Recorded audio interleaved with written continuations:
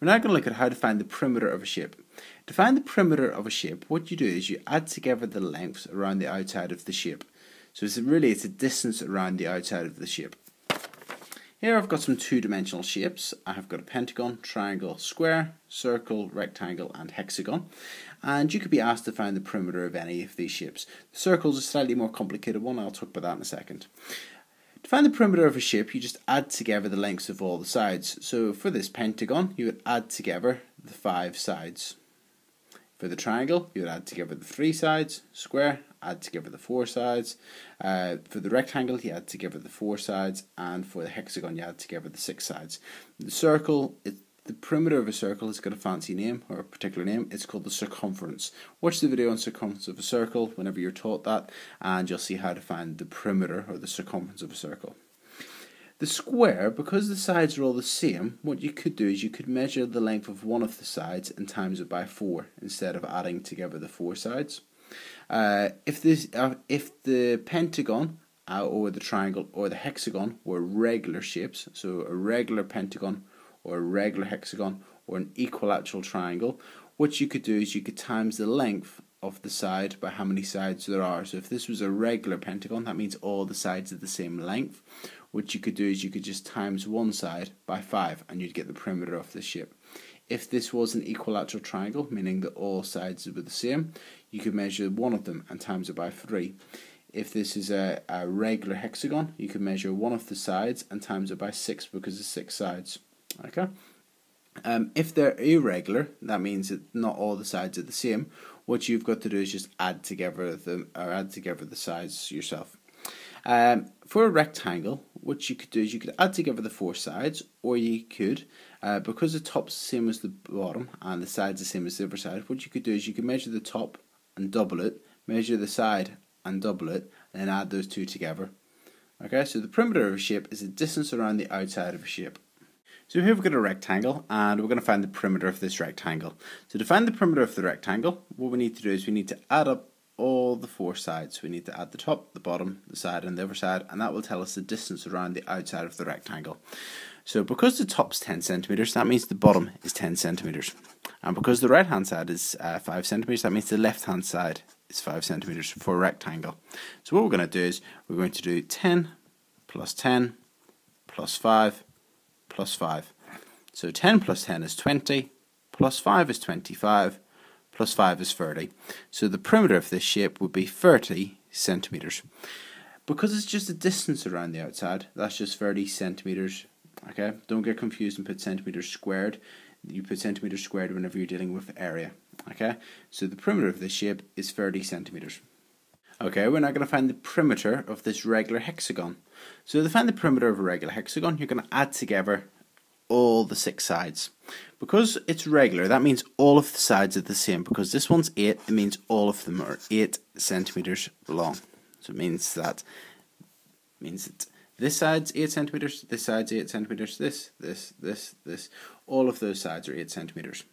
So what you could do is you could do 8 plus 8 plus 8 plus 8 plus 8, you know, with 6 eights. Or, because, you know, it's got 6 sides and each of them is 8 centimeters, what I'm going to do is I'm going to do 6 because 6 sides multiplied by 8 and then 6 times 8 is 48 centimeters and then that means that the perimeter of this shape is 46, uh, 48 centimeters.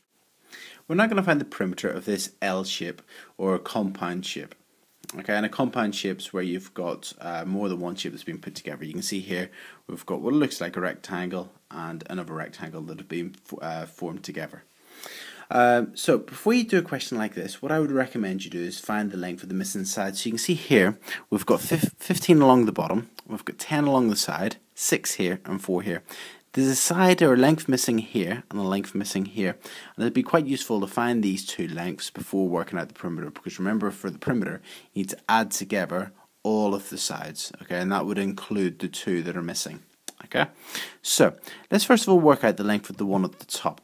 Okay, now to find the length of the one at the top, you need to find all the lengths that are going horizontal. So there's one horizontal one here, there's this horizontal line, and there's this big long horizontal. Now you can see here, that the whole shape is 15 meters long. This section is 4 meters long. So this means that the section at the top must be 11 meters long because the 11 plus the 4 would have to be the 15 meters in total. The ship is 10 meters tall.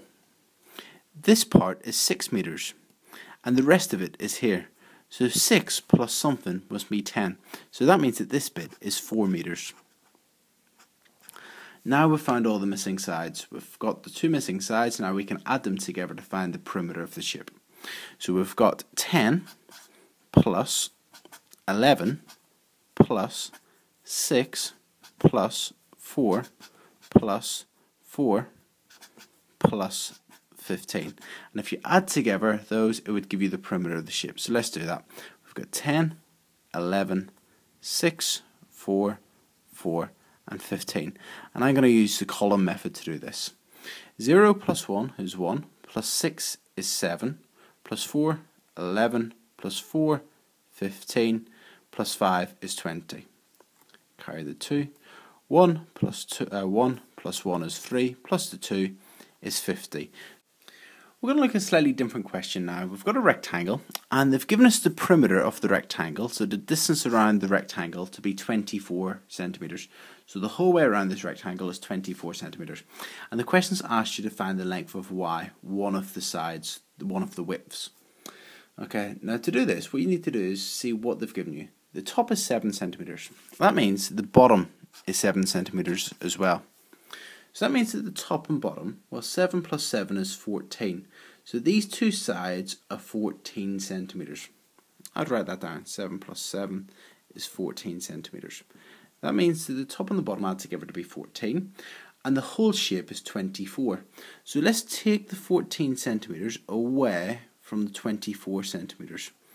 And whenever you do 24 centimetres, take away 14 centimetres, that's 10 centimetres. So that means that these two sides altogether are 10 centimetres. But they're the same as each other. This side is the same as this one. So if you half the 10 centimetres, it will tell you the size of y. So half of 10, 10 divided by 2 equals 5 centimetres. So that means that 5 centimetres. So that means that this side is 5 centimetres. Let's check out. Let's just check it's right. So that means that both of them would be 5. 5 plus 5 is 10 plus 7 is 17, plus 7 is 24. So therefore our answer is right. This question, we've been told that the perimeter of the equilateral triangle is 24 centimetres. That means that whenever you add together the three sides, the, the perimeter, the answer is 24. Uh, because it's an equilateral triangle, it means all the sides are the same. So it means that this side is the same as this side, which is the same as this side. And you've been asked to find one of the sides of the triangle. So what you're going to do is you're going to do uh, 24 divided by 3. We're dividing it by 3 because all of the sides are the same. So 24 divided by 3 equals 8 centimetres. So that means that one of the sides of this triangle is 8 centimetres. And that would mean that the other two would be 8 as well. And that's a good way to check your answer. Because let's just check. 8 plus 8 is 16, plus 8 is 24. So that means that this length is 8 centimetres.